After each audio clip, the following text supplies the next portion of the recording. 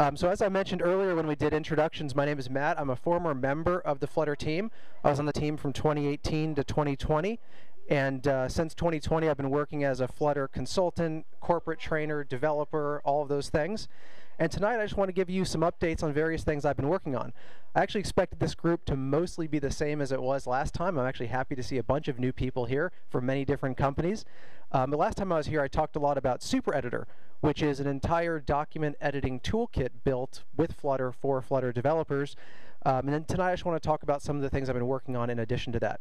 So what you see up here on this first slide are my two different initiatives. So on the one hand, I have Super Declarative, which is focused on education, creative coding, pixel painting, that kind of thing. And then on the other side is the Flutter Bounty Hunters, which is a remote development agency focused on open source Flutter and Dart development. So let's talk about some of the things that, uh, that we've been doing. First, since I was last here, I released something called Flutter Processing. Now, with a show of hands, who's familiar with processing itself?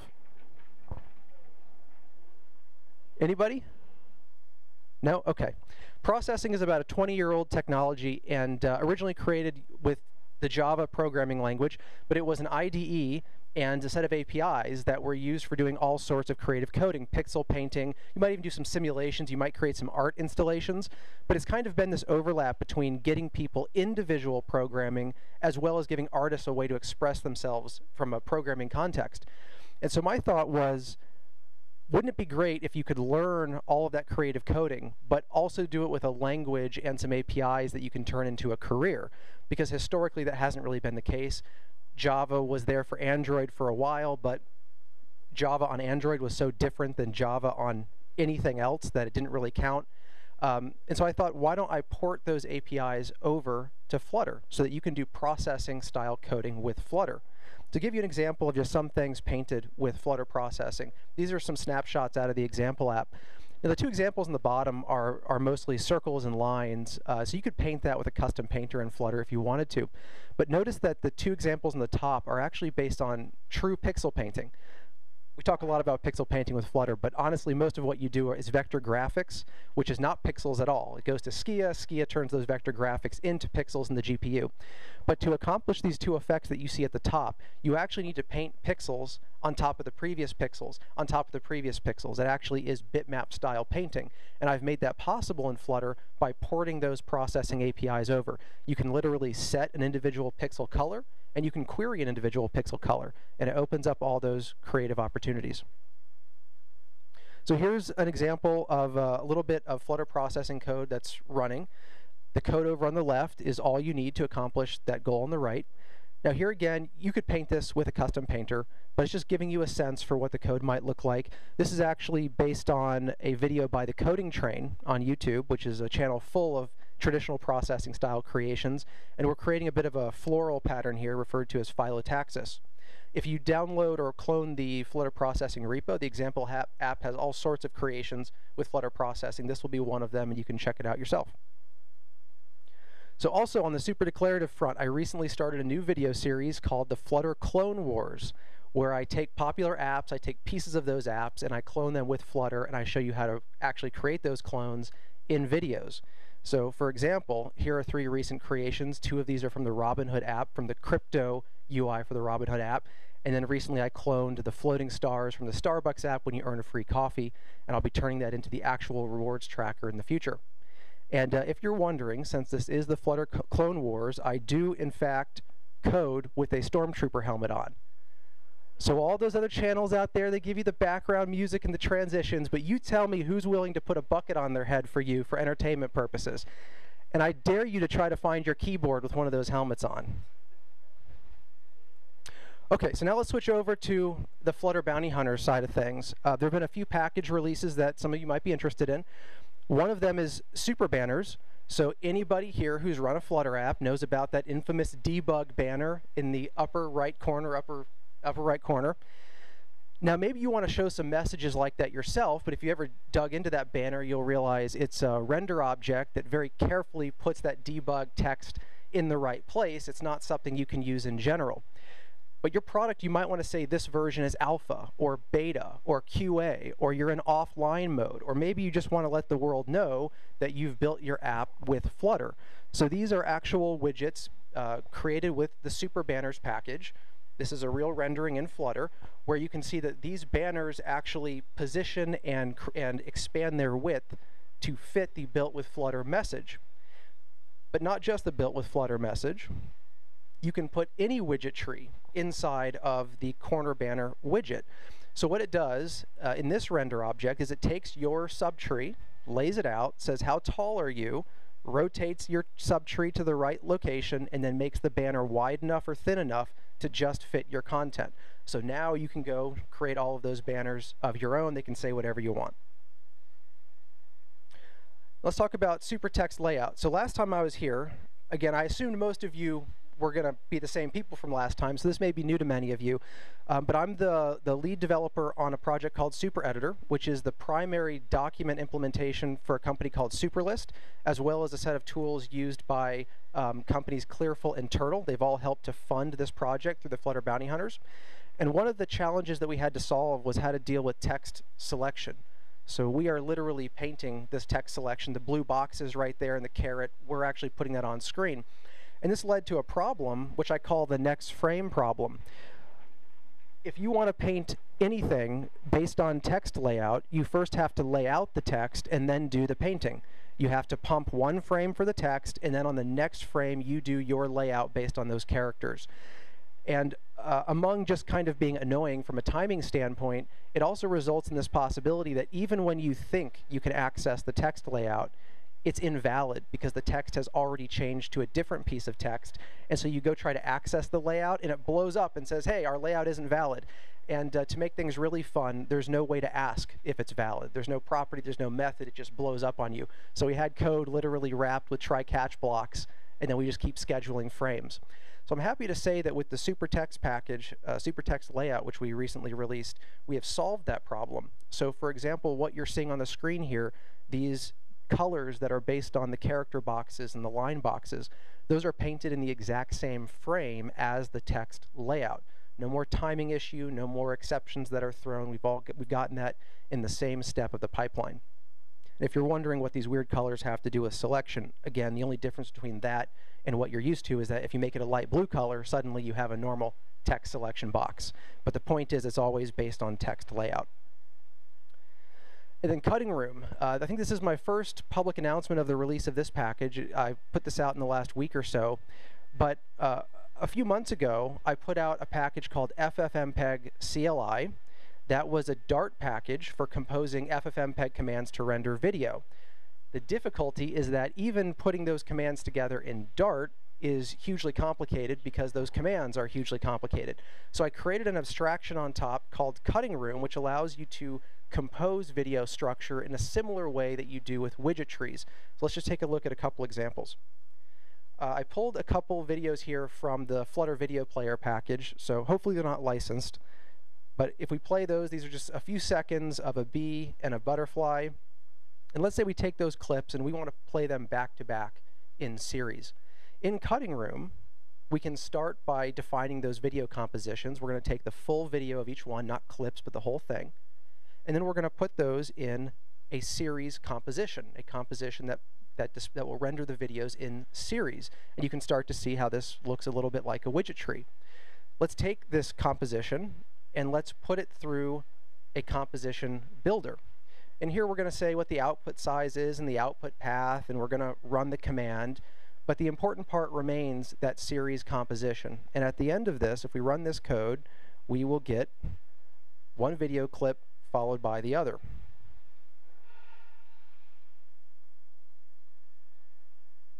There we go.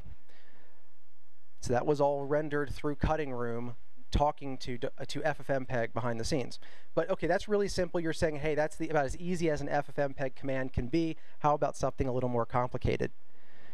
Let's take this example. Let's say we still have the content that we had before, but we want an intro and we want an outro and not before and after the content, but slightly overlapping. So the intro reveals the content with a circle reveal, and the outro hides the content with another circle reveal. This means they have to overlap. And that's actually quite difficult with FFmpeg and the filter graph, but it's going to be quite easy with Cutting Room. So let's return to our series composition, and let's just wrap that with something we call a layer. and we're going to put it in a layer span. That span is going to start about two seconds into the video because we want time for the intro, and then it's going to play as long as it wants. Let's add a second layer. This layer is going to have two spans. The first span is for the intro, which begins immediately. That's the duration dot zero, and it plays this file called example_intro.move. And then a second span, which despite the integer math there is about at the end of the video, the end of the video minus a little bit. That's our outro, which plays example outro.move. Take those two layers, stick them in a layered composition. And the rest of this is what you saw before, the output size, the output path, and then running the command. We just switched our composition. And then we get this. This is playing. So you saw the transition from the intro to the content, and we'll see from the content to the outro. So if you haven't worked with FFmpeg, go give it a try so you can appreciate how much easier that is than the alternative. But this project is now available on Pub. It's a proof of concept, so I use this to produce all of my videos, but for any company that would like to make use of this, like to productionize it, we're looking for funding to bring companies in and take a stake in the future of that project. And the last thing I'll talk about, because we have FFmpeg CLI, we have cutting room, the next thing we're looking at is, well, with this ability to, to put videos together and to render them, wouldn't it be nice as Flutter developers if one of the things in those videos could be your Flutter UI? Why not render that to a video? You've already seen me include multiple of those videos here. So something that we're looking into is the idea of taking Flutter code, piping it through to a headless version of Flutter, meaning no window, you can't see anything, but there's Flutter, there's the rendering system, and then out the other side is that video of your actual Flutter code. And in theory, with this tool, you can put all these, all the three tools together, and you can just generate an entire video, including your Flutter examples and demos, and you don't need a human to be involved at all. And there are some other ways to make use of this tool, which is, you know, imagine that your company deals with real-time signals, whether that's weather or the stock market or whatever, and you'd like to actually render charts or animations or any kind of video and post to Twitter, Facebook, Instagram. This is the kind of tool that can run then on your web server, take those signals in and, and consistently put out updated videos as needed. Another interesting use case is that when you're onboarding developers, whether to a proprietary system or an open source system, one of the best ways to teach a developer is to show a video of an area of the app doing something. Now, it's always tempting. You drop the developer in there, say, hey, clone the repo, go poke around the app and figure it out. But we all know there are things blocked off by special admin accounts or different levels of roles, things that are kind of hidden, and those developers just aren't going to find them. But if as you write your source code, if you were to write little video containers the way you might write tests, and those video containers just generate little videos of your app, you can easily inject them right into your documentation, your README, wherever you decide to put your information about how your app works. And then you can give those new developers a much easier onboarding experience where they can see everything that's happening. And it's not a mock-up, it's not from the team that went through Premiere and After Effects on the design side, it's your actual app doing what it does. Um, and to make all of that, all of those points very clear, so again, you can, in this case, you could use Flutter to paint images and videos to social media. You could generate demo videos um, showing what, you know, put it in your project docs. You can generate demos for your presentations. How many of us stand up in, in meetups and conferences like this and we show off what we've created, yet the be a person that opens up QuickTime and creates the rectangle and records it and all that stuff. You can skip all that with this tool. Um, and also, for the few people like me on YouTube, you could directly pipe those Flutter demos into educational videos. So that project, we believe we know how to build it. I'm here mentioning it because we are looking as well for funding to get that project started. Uh, it's just a matter of bringing the companies together that can gain value from it. So if, if that is your company, love to talk to you about that. But uh, whether you'd like to help fund any Flutter Bounty Hunter projects or if you're an experienced Flutter developer and you'd like to join the team, please come talk to me. And those are the updates from Super Declarative and uh, the Flutter Bounty Hunters. Be happy to take any questions if we have time.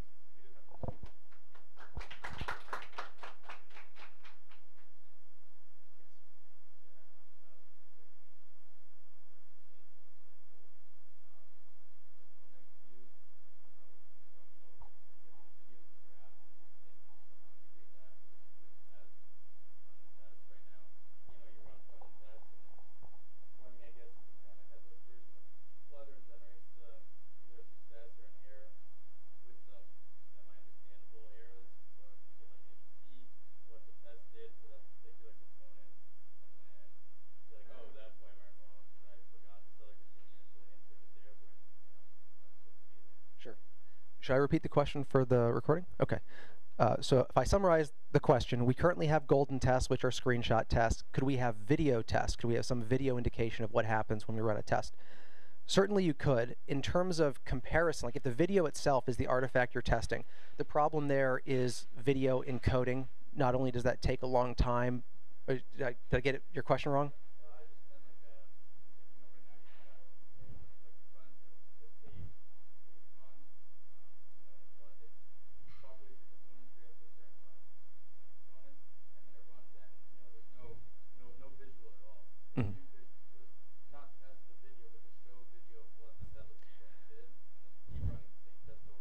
Sure. Okay, so videos to interrogate what happened during your test.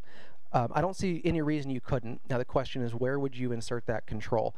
You might need to get it. You might need to extend the test runner. You might need to build your own test runner. But the wonderful thing about being in Dart is that once you're in Dart and your test is in Dart, yeah, you can absolutely call anything you want this tool does require FFmpeg, so you have to have that on your path wherever you're running that test. But assuming you do, absolutely, you can compose that command right in the middle of your test, um, and you could render it out.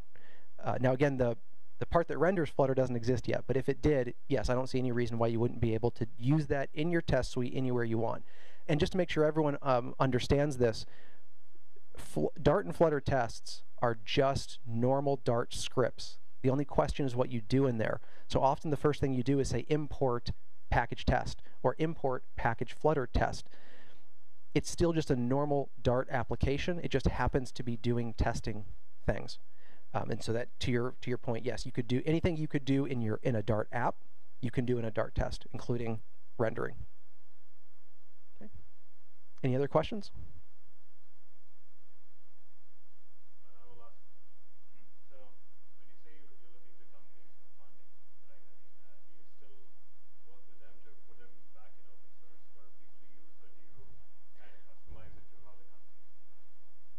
Yes, the question is how we work with companies who are funding the projects. So yes, it, it all of our work immediately goes to open source. What funding does is one, it gets the tool built, and two, any funding company absolutely has influence over what features we build or don't build or what the APIs might look like. Um, and so, you know, the way I describe this is if your company needs a tool, you're gonna you're gonna pay for that tool either way. The question then becomes, do you want to be on the hook for every new feature in that tool? Do you want to be on the hook for every bug fix? Do you want to be on the hook for 100% of the cost? Do you want to be on the hook for 100% of the time? Or would you rather say, look, this particular tool, it's not core to our business. We just need it. So why don't we split the cost with other companies? Why don't we have these Flutter bounty hunters developers worry about it instead of our team? That's the advantage that you get. Sure. Anybody else? Nobody's curious about any of it, not even the stormtrooper helmet? Oh, sorry, in the back, and then we'll go up front.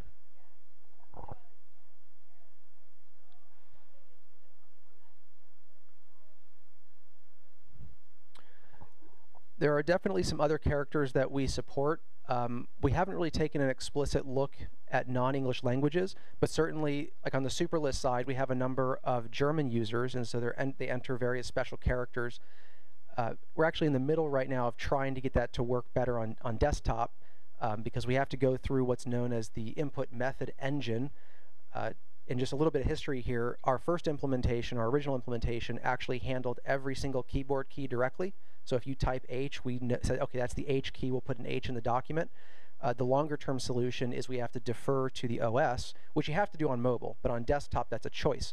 So now the Mac OS, for example, will tell us what we need to change in the document, and we're in the process of fully integrating that capability. But as we speak, I have some pull requests up that deal with some special characters and the ability to enter those. Sure. There's a question up here. I so do I have a clone trooper helmet? I don't because um, so I have a stormtrooper helmet. The clone there was no clone trooper helmet from that line. I did look. I tried to find one. I ended up with uh, two different, the, the original Stormtrooper and the new Stormtrooper.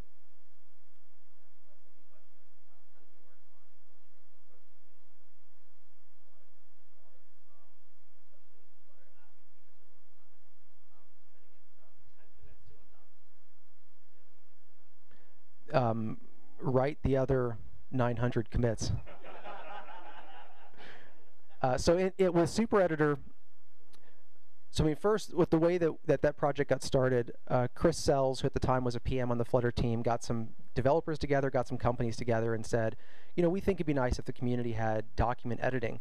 And out of those companies, there was one that was serious about funding it. And out of the developers, I was the one who was serious about building it. And so we started working together from that point forward. And as the project moved forward, um, a couple other companies saw the value of it and joined the funding as well.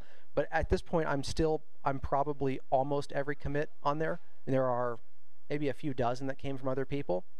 Um, I guess the difficulty isn't necessarily getting people to commit, but getting them to commit code that you actually want in the code base. It's it needs to be tested. It needs to be readable. Like this stuff is once it's open source, like that's not up for debate because someone's gonna have to continue that code. And if I can't understand it, if other developers can't understand it, if we don't know what it was supposed to do, which is by the way what tests tell you is what it's supposed to do, it's okay, that'll work for 10 minutes and then we got to get rid of it or something. Um, and so like right now I have a number of people going through kind of a probationary period with the Flutter Bounty Hunters to make sure that, okay, can you write code that can be read? Can you write the tests that go with it? And if they can, they'll be on the team and they'll be part of that group of people committing. So I'm sorry I don't have any secrets for you there. It's, it's just kind of a, a rough road. Any other questions? All right, well, thanks for your time.